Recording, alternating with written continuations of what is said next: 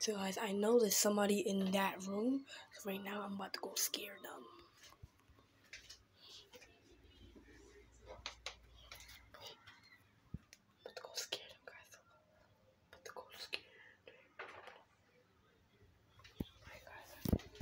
Let's go scare them.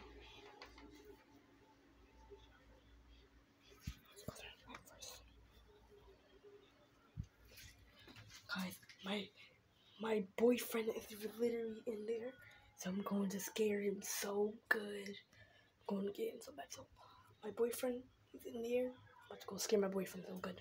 Wait, I have to go get my boyfriend. I'm just like getting prepared to scare him because I never did this before, and he said that if I ever scare him, then he might break up with me. But guess what? I want to break up with him, so you know what?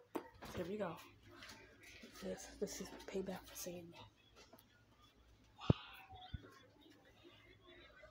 Oh, what you doing, mate? I forgot. I ain't got no boyfriend.